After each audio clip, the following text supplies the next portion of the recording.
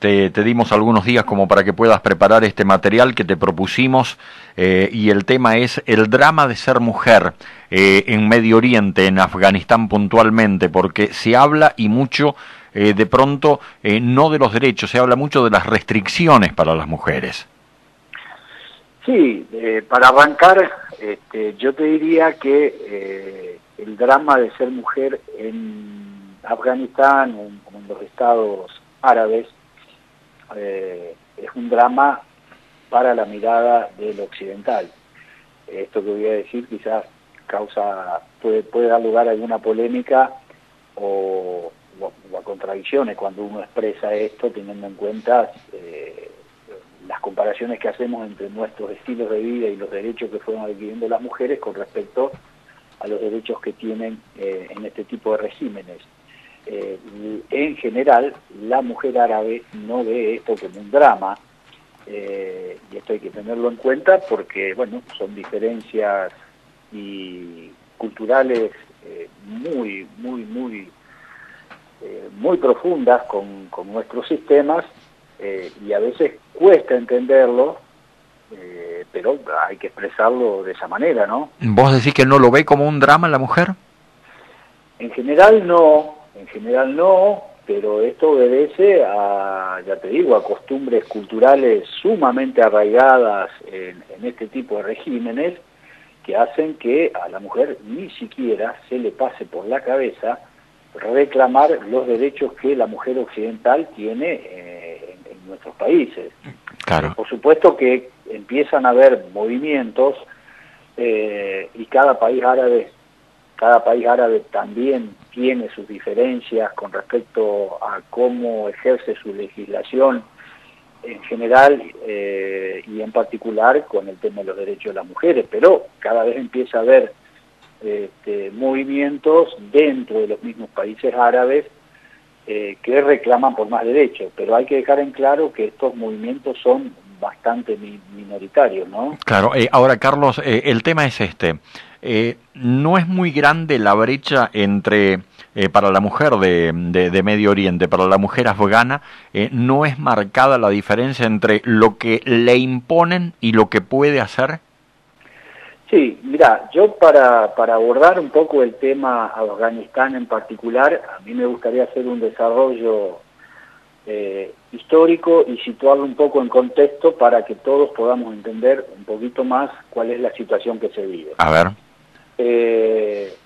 los estados árabes en general eh, no tienen eh, separado, como tenemos nosotros, la iglesia del Estado. se mezclan mucho las cuestiones y son confusas para la mirada de un occidental. ellos se, manejan espiritual y políticamente con, con dos libros fundamentales, uno es el Corán, que es aquel que, bueno, la palabra del, profeta Mahoma que interpreta la palabra de Dios para el mundo musulmán, eh, y la Sharia. La Sharia es la, digamos, la palabra de Dios que eh, significa eh, el ejercicio de la cuestión política según los ojos de Dios y según lo entienden aquellos que interpretaron, que, que también hay diferencias, que después vamos a hacer referencia a esa, los que interpretaron esta, esta palabra de Dios. O sea, la Sharia es la ley divina que rige eh, la vida de los hombres y las cuestiones políticas. Eh, hay una subdivisión también dentro del mundo árabe, que la hemos escuchado nombrar, que es entre sunitas y chiitas. Eh, son dos maneras de interpretar el Corán y la Sharia, fundamentalmente la Sharia, y tiene que ver con divisiones que se dieron después del fallecimiento del profeta Mahoma y que más o menos con diferencias eh, los países mm, donde es más laxa la interpretación de, la Sharia, eh, tipo Arabia Saudita, Egipto, eh, Irak, son países de una predominancia sunita.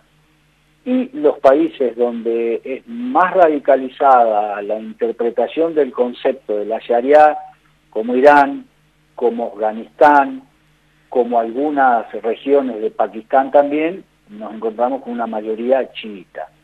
donde, eh, y esto pasa tanto en el mundo con predominancia sunita y chiita,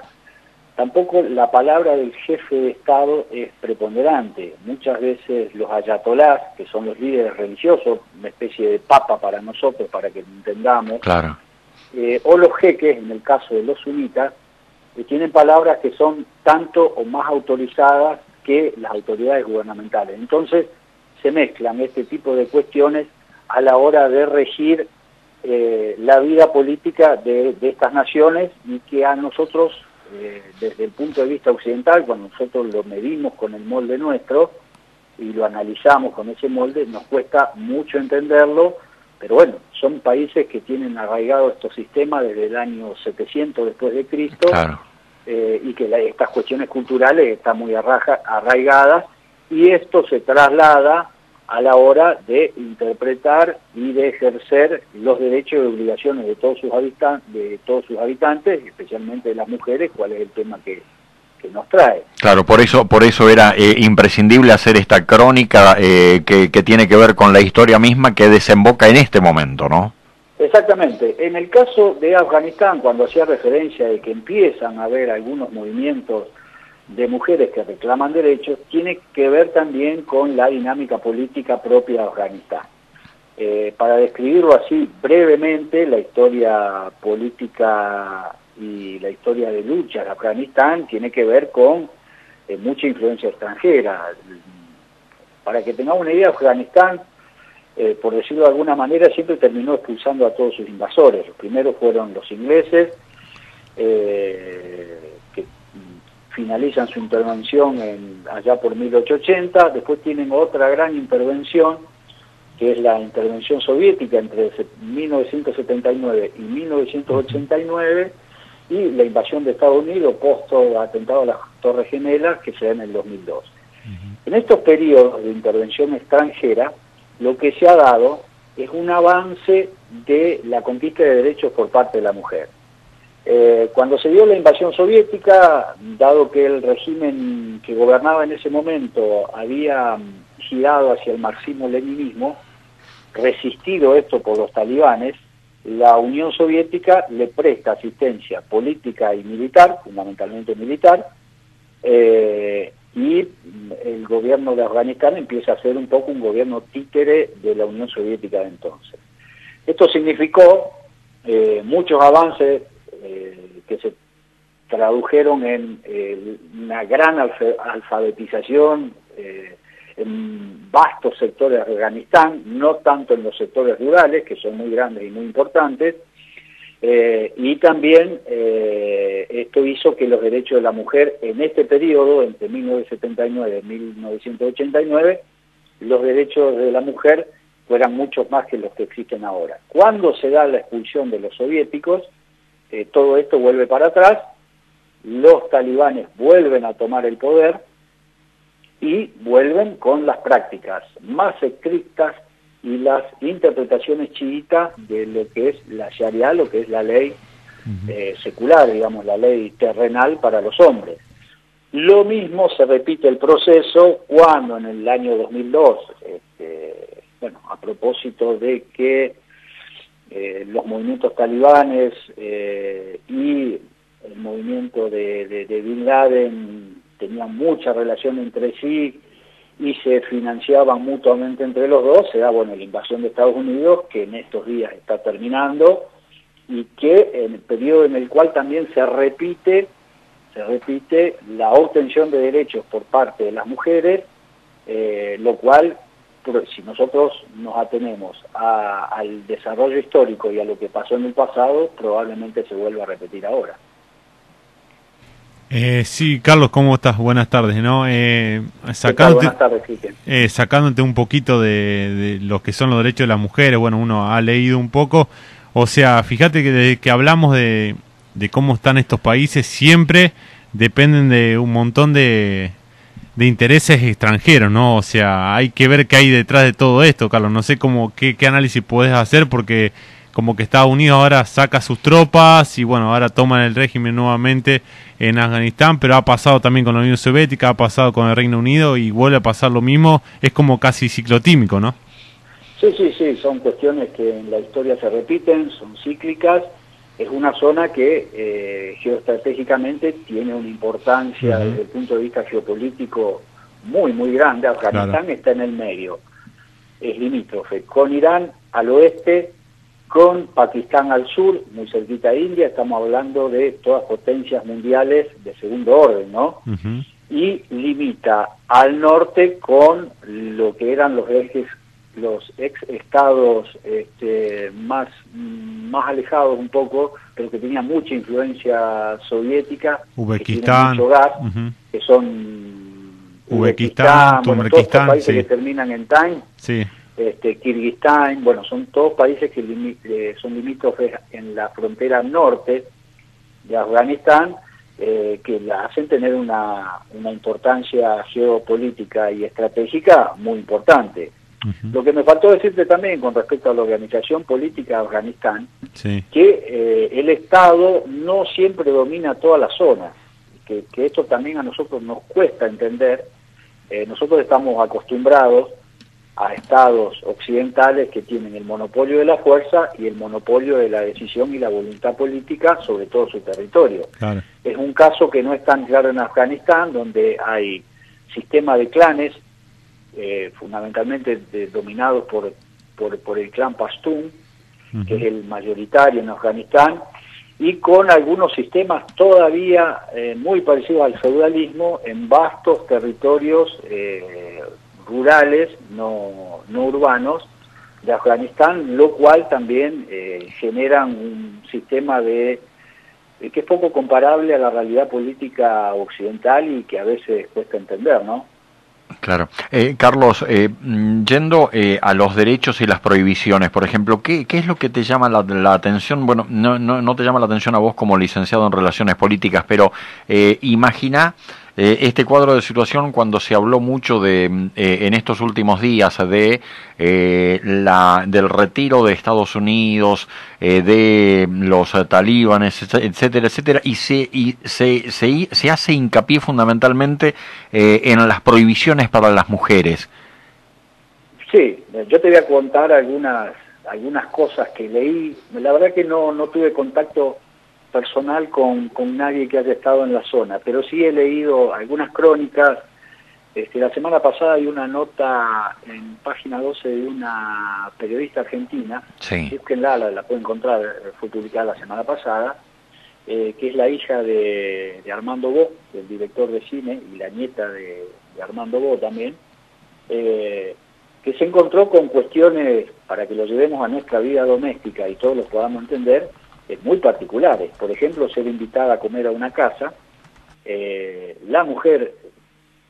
se dedicó a hacer la comida, a agasajar a los invitados y a la hora de comer se quedó adentro de la cocina y el resto de los invitados. Ella, la única mujer occidental, y el resto, todos varones, comiendo en el comedor.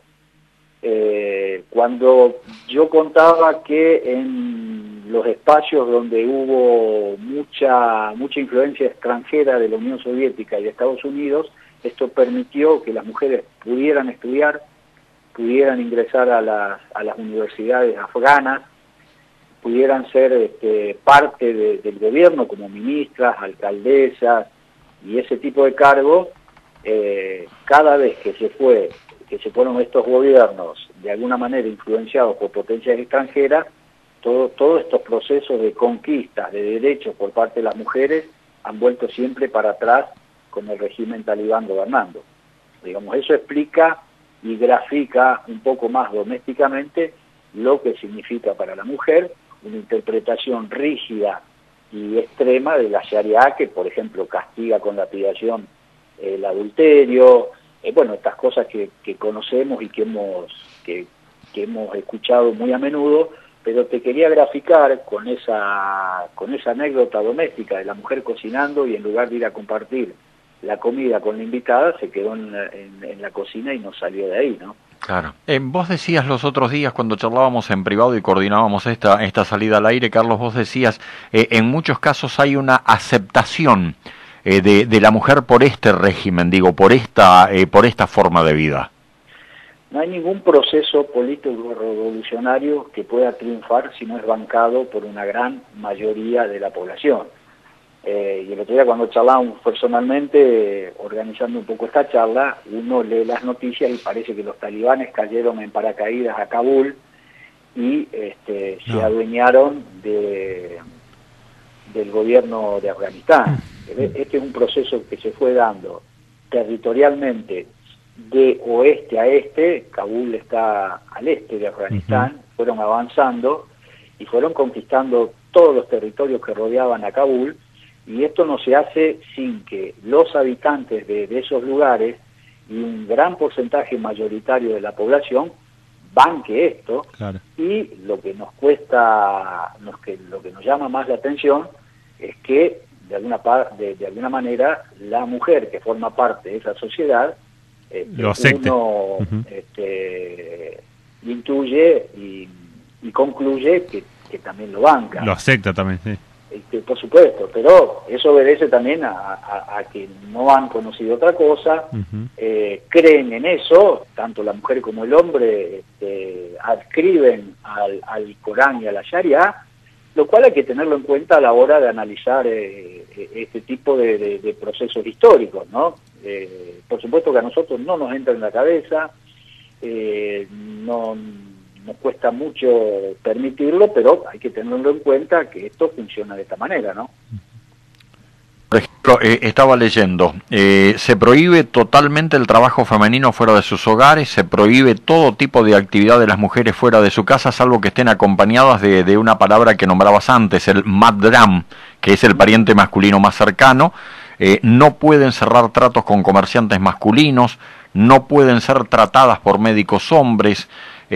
prohibido estudiar en escuelas, universidades o cualquier otra institución educativa las mujeres deben llevar una burca que las cubre de la cabeza a los pies, eh, azotes, palizas y abusos verbales contra las mujeres que no vistan acorde con las reglas o contra las mujeres que no vayan acompañadas precisamente de, eh, de esta persona eh, que se constituye casi como un, como un dueño que es el maram, ¿no? Por, por citar algunas prohibiciones. Sí, voy, a hacer referencia al burka. El burka es la vestimenta más extrema donde menos tiene posibilidad de exhibir su cuerpo la mujer. Cuando yo hacía referencia al principio, eh, la diferencia de, la interpretación de la Sharia entre los sunitas y chiitas, eh, lo único que se le exige, yo no me acuerdo ahora cómo, cómo se llama, pero hace la semana pasada también salió una nota en Infobae donde grafica la diferencia de del velo que usan las mujeres fundamentalmente para taparse el pelo, en, por ejemplo en Arabia Saudita, eh, donde es menos, digo, deja mostrar, por lo menos muestra el rostro, no se tapa la boca, eh, y en el caso de la burka, que es lo más extremo, la mujer eh, tiene un traje que, para graficarlo de alguna manera, bueno, todo el mundo lo debe haber visto, pero la parte de la cabeza está tapada por esos cascos parecidos a los que usan los extractores de miel, tienen tejido, bueno, es una cosa parecida a esa, y digamos, la burka es la ropa más extrema, eso también grafica de alguna manera la, consideración y la, el trato que tiene el régimen talibán con respecto a la mujer, sumado a las cosas, algunas cosas que decía yo y a las que acabas de leer vos Claro, por ejemplo, prohibido usar maquillaje, eh, no puede llevar zapatos de taco, eh, no puede tener presencia, por ejemplo, en una radio, en una televisión o en una reunión pública, no puede practicar deportes o entrar a cualquier club eh, deportivo y hasta ni siquiera puede, Carlitos, ni siquiera pueden andar en bicis o motos.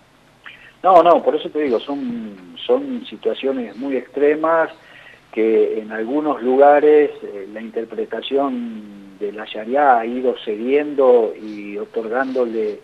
más derechos a, la mujer, eh, pero en estos tipos de regímenes donde son mucho más extremos, esto no se verifica de alguna manera.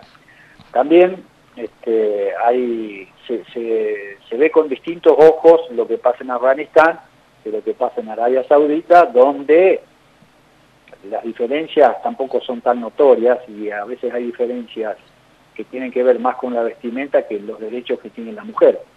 los medios occidentales, teniendo en cuenta que Arabia Saudita es un aliado de los gobiernos occidentales, miran con,